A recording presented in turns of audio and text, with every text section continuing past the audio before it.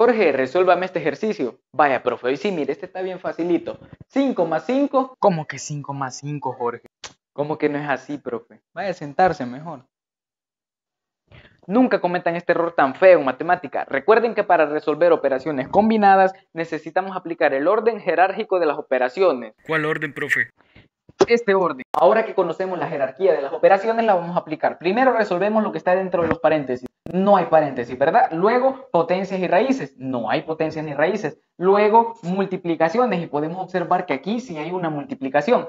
Entonces, las primeras sumas las vamos a bajar. Ojo aquí, 5 por 5 queda como más 25. Más 5. Ahora sí vamos a poder sumar todas las operaciones. 5 más 5, 10. Más 25, 35. Más 5, 40. Entonces 40 sería la respuesta. ¿Comprendió, Jorge? Pues digo, y el Brian y la Brittany. ¡Jorge! Sí, profe, está fácil.